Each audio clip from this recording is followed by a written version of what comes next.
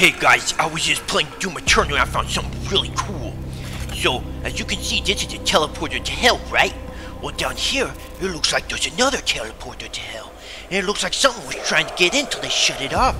It's just a hand of a giant demon. I just thought it was really cool, so I decided to share with you guys.